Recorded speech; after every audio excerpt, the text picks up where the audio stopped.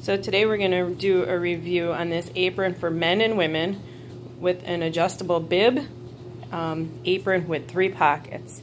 Um, this one came, it has the pinstripes.